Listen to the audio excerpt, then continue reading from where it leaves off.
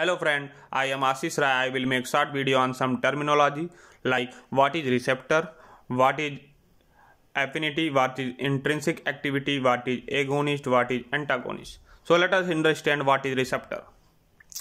Receptor are found on our cell or inside the cell.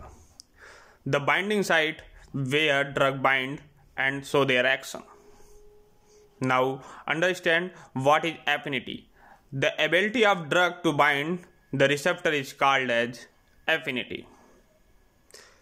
And what is intrinsic activity? The ability of drug to produce an effect after binding a receptor is called as intrinsic activity. Now understand what is agonist. Drug bind to a receptor and produce some effect that is increases the activity and what is antagonist? Drug bind to receptor but do not produce any effect. That is called as antagonist. In simple word we can say that antagonist exhibits the activity of the drug.